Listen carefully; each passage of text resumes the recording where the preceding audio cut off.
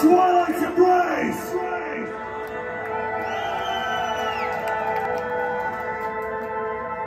We have traveled miles to bring you Lifeblood